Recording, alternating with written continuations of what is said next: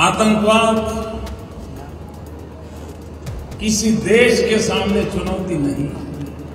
आतंकवाद मानवता को चुनौती दे रहा है।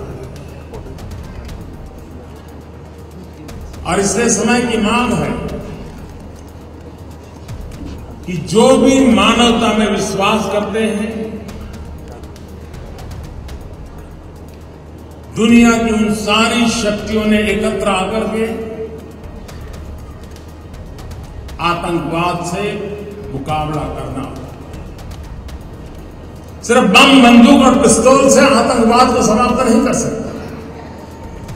हमें समाज में एक माहौल पैदा करना मैं नहीं जानता हूँ यूनाइटेड नेशन कब करेगा, कैसे करेगा।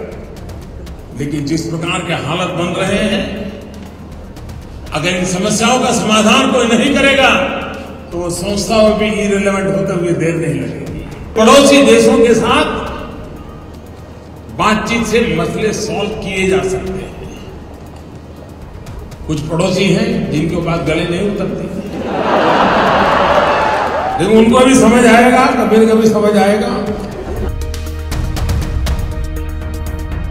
सरकार ने कहा था ज़ीरो अमाउंट से बैंक बैलेंस ज़ीरो होगा तो भी अकाउंट खुलेगा।